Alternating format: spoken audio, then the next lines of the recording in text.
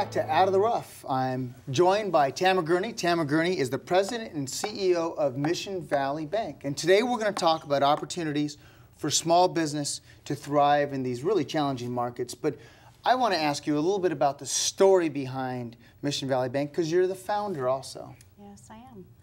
Uh, it's great to be here, and I, th I, thank you for asking me. You're that. welcome. Um, we started the bank. I got a group of folks together that I had worked with for some 20 years at another community-based business bank that was acquired in 1999, and the community in Sun Valley, where we originally started, was looking for that community bank to come back and provide that service, uh, which they felt was taken away when the larger bank acquired us. So we got together and put a business plan together and got the bank open and uh, started in, in July of 2001, actually, just right before 9-11. 9 yes. All the challenges. Yes. So we feel like that really served us well in, in helping us navigate difficult times. We didn't think we'd see anything like that again, but right. here we are. So. You know, if you want to be successful in a business, Michael, you've seen a lot of businesses thrive and not, or, or sink. Right. Start it in a downward market. Right. I mean, start start it in a challenging market, and you're going to be successful.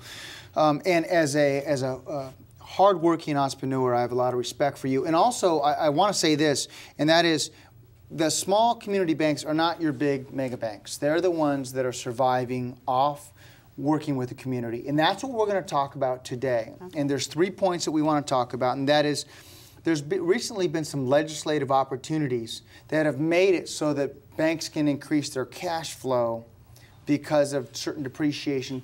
Um, share with us um, that insight you share with your customers. Well, as part of the stimulus that the government has been putting in place uh, over the last couple of years to try to stimulate growth in the economy after the, the recession, if you will, there was legislation passed, uh, the Tax Relief Act, some Jobs Act, uh, and part of that was to stimulate small businesses to go ahead and make capital investments that they were shy to be making because they didn't have the cash, for example, and banks weren't lending, or the feeling that banks weren't lending. And so, uh, under Section 179, there's an opportunity to purchase equipment, fixed assets that you're going to deploy over a long period of time. There are a lot of, of uh, requirements to, to adhere to, and it's important you talk to your CPA. I'm speaking just from the banking side of how mm -hmm. to mm-hmm. finance this and take uh, advantage of that opportunity. Mm -hmm. If you put those assets, some new equipment, for example, into play by September the 8th of 2010 through January of 2012, so it's a short window, you have an opportunity to take 100% depreciation on that asset up to $500,000. So, and plus an additional $50,000 um, bonus depreciation. So if you bonus look, depreciation, right? I like that. so you basically can write off five hundred and fifty thousand dollars in that first year, and if you're in a thirty percent tax bracket, that's about one hundred and sixty-five thousand dollars. What that translates to is essentially pre-funding a loan to purchase that equipment for mm -hmm. half the life of the loan. Right. So you're basically getting half the loan payments covered through that tax break. It's a huge it's advantage. It's a brilliant way to look you know. at it. And I see lots of folks that they say, you know, I don't have the cash right now and I want to hold on to it. Or maybe they deploy the cash and buy the equipment. And now they have taken cash that they desperately need to run their business and they haven't taken advantage of this opportunity to write that off. And uh, we can show them how to, to finance it in that way and, and save some cash for some other I like what you said. By employing that strategy, right. you're able to make a third, maybe even more of the payments from the tax savings on that particular uh, product or asset. Um, also, we're finding that businesses are reinvesting in technology and better, faster equipment Correct. simply because it'll help productivity because wages aren't necessarily going down. In fact, uh, if you've got a good employee, you're, you're usually compensating them fairly well.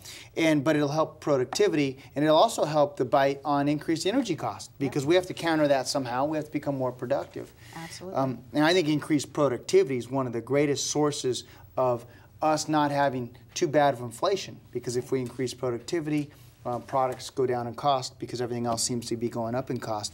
Let's talk about finding, and, and I like the way you phrase this, how to find uh, hidden, hidden cash in your balance sheet. balance sheet. I think what we find, uh, a big part of who we are that I feel differentiates Mission Valley Bank from many others is we are really focused on, on trying to be a trusted advisor, and that may be somewhat of an overused word, but we want to be invited to the table with the small business owner, with their attorney, and with their CPA as an advisor to fill in those gaps from the financial perspective. And so, what we do to get that invitation, if you will, is provide as much education and outreach to our clients and prospects as we can. And what we have found over the years is the entrepreneur who started the business is usually great at the sales aspect. And they're a little weak on the financial side in mm-hmm. terms of understanding the mechanics of the balance sheet and the income statement. And the hidden cash I'm referring to is, is understanding what it costs to hold um, inventory, for example, and how much cash can be freed up to turn inventory. But one of the biggest mistakes that we see recently, because cash flow is such a challenge for so many people, because if we're not getting paid, then we turn around and we slow pay the next guy. So you're getting strung out instead of 30 days, 60 days, 90 days, and it's a real struggle to keep the doors open. So folks are coming out and saying, gee, if I can get you to pay in 10 days instead of 30, 30 would be nice in this environment, but mm -hmm. let's just say for sake of example, right. if I can get you to pay in 10, I'll give you a 2% discount. Well, if you look at that, that 20-day cycle that you're shortening up, there's there are 18 of those cycles in a year. So that 2% times 18 yeah. is 36% interest. Right. That you're basically paying right. to get that money quicker. And, and 2% discounts, probably pretty skinny. Some mm -hmm. people are offering double that and more. Mm -hmm. So that just takes that interest rate up even higher. So it's like paying a 36% rate right. of return. Or double it. Yeah. You know, and and what we have are, uh, and many banks offer, are accounts receivable financing lines where we essentially buy that receivable and give you cash in 24 hours. You keep running your business, and if you can get the receivables to turn even faster, that interest rate will go down. Yeah, um, yeah. So we kind of work to educate you about where the money is in your balance sheet and how you can free it up and then you make your own choices. But most banks can do financing at less than half the cost of the example I just gave you. Yeah, and you need a true consultant when it comes right. to your business in all aspects, looking for money Absolutely. in your balance uh, sheet, looking at accounts receivable financing. Right. Um, and you almost have to look at the total cost of money when you give discounts also. Absolutely. Yeah, for pay. Um, we're going to jump to a quick break, but, but beforehand, I do want to get your email address uh, for this okay. segment and how uh, those that want more information about Mission Valley Bank uh, can reach you? They can reach me at tgurney, T-G-U-R-N-E-Y, at missionvalleybank.com is my direct email, and uh, they can reach me on my cell phone 24-7. I'll probably be sorry I said that. yes. Uh, but I give it out on my business card because I want to be accessible to clients, and it's uh, area code 818-415-5354. Uh, How many CEOs uh, president, CEO of organizations actually give you this cell number. Obviously, Tamara, you're very committed to uh, the community. You're very committed to lending. Uh, you know, in Southern California, I know yeah. it's more than Southern California, but you're very entrenched in the community. So thank you for all you do. We're going to jump to a quick break, but I'm going to ask you both to stay because we're going to talk specifically about opportunities that your business has to grow in this ever-changing economy.